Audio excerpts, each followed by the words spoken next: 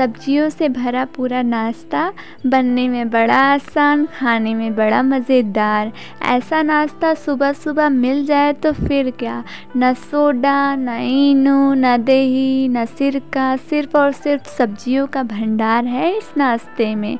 आज बनाऊँगी मैं ऐसा नाश्ता जो आप आपको आपके फैमिली को बेहद पसंद आएगा। बहुत ही कम तेल में बनाऊँगी और बहुत ही हेल्दी बनेगा ये नाश्ता। तो चलिए शुरू करते हैं बनाना लेकिन हाँ उससे पहले अग, अभी तक मेरे चैनल को सब्सक्राइब नहीं किया है तो जल्दी से सब्सक्राइब कर लीजिए और वीडियो को एंड तक ज़रूर देखिएगा।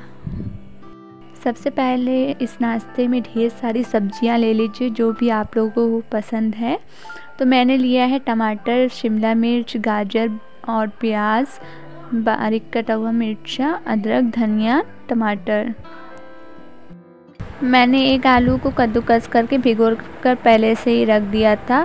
फिर मैं ले रही हूँ एक कटोरी चावल, जिसको दो घंटे पहले आप भिगो कर रख दीजिए। उसके बाद चावल को पीस लीजिए। पीसते टाइम आधा कटोरी के लगभग पानी ज़रूर डाल दीजिएगा और उसका एक फ़ाइन पेस्ट बना दीजिए। आप चावल का आटा भी ले सकते हैं, लेकिन चावल के आटे से ज़्यादा अच्छा चावल से ही बहुत बढ़िया बनेगा, क्योंकि क्रिस्पी और क्रंची भी बनेगा। आज इसमें बहुत ही बढ़िया सा टेस्ट लाने के लिए हम तड़का लगा लेते हैं। मैंने तड़का लगाने के लिए वन टीस्पून तेल लिया है, आधा चम्मच राई, आधा चम्मच सफ़ेद तिल और कड़ी पत्ता जिसे मीठी नीम बोलते हैं, इन तीनों को हम पकाएँगे। आप चाहे तो इसमें हींग भी डाल सकते हैं, पर मैंने हींग नहीं ऐड किया है। फिर इस मिश्रण में तड़का डाल दीजिए।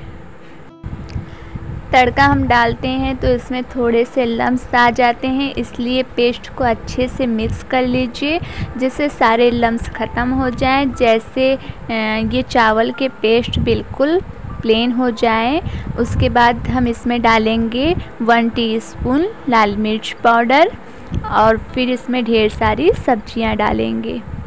और कटी हुई लाल मिर्च, बारीक कटा हुआ अदरक, बारीक कटा हुआ गाजर, बारीक कटा हुआ शिमला मिर्च, बारीक कटी हुई प्याज, और बारीक कटा हुआ टमाटर, बारीक कटा हुआ धनिया को डालकर अच्छे से इसको मिक्स कर लें। आप इसमें कोई भी सब्ज़ी डाल सकते हैं। आपको प्याज या अदरक नहीं पसंद आती है तो आप इसको स्किप भी कर सकते हैं। और मैंने एक कच्चा आलू बारीक कटा हुआ, कद्दूकस करा हुआ आलू लिया है। इसको भी मैं डाल लेती हूँ और फिर इसको अच्छे से मिक्स कर लेती हूँ।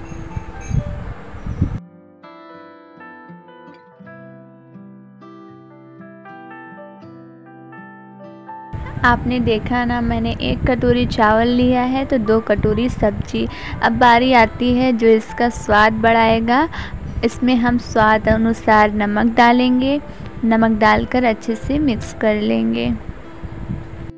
अब कुछ नहीं डालना है इसमें। चलो, अब हम इसे बनाना शुरू करते हैं। यहाँ पर मैंने पैन लिया है। मेरा पैन थोड़ा छोटा है। आप बड़ा भी पैन ले सकते हो और आप तावा भी ले सकते हो। तावे पर भी बना सकते हो। फिर उसमें मैंने थोड़ा सा ऑयल लगाया और इस मिश्रण को डालकर एकदम पतला फैला देना है।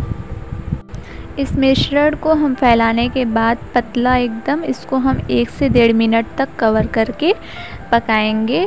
नीचे से बहुत बढ़िया सा पक जाए, ऊपर से कलर चेंज हो जाए तो ऊपर से थोड़ा सा ऑयल लगा दीजिए। ऑयल लगाने के बाद इसको पलट दीजिए और मीडियम फ्लेम पर दूसरी तरफ़ से अच्छे से पकाइए। जब ये अच्छे से पक जाए तो इसको प्लेट में निकाल दीजिए।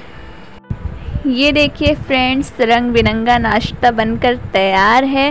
सॉफ्ट इतना है कि बस बनाया जाओ और खाया जाओ। आप इसे दही के साथ भी खा सकते हो, चटनी के साथ भी खा सकते हो या कोई अचार, टमाटो सॉस, मुरब्बा, किसी भी चीज़ के साथ खा सकते हो। और नहीं है कुछ, ऐसे ही खाने में बहुत अच्छा लगता है। इसे ज़रूर ट्राई करिएगा। देखने में क्रिस्पी ज़रूर है, लेकिन खाने में बहुत ही सुपर सॉफ्ट और बहुत ही ज़्यादा टेस्टी है। तो कैसी लगी आप लोगों को मेरी रेसिपी कमेंट में ज़रूर बताइएगा। और अभी तक आप लोगों ने मेरे चैनल को सब्सक्राइब नहीं किया है तो प्लीज़ सब्सक्राइब कर दीजिए। और मेरी वीडियो को लाइक कीजिए।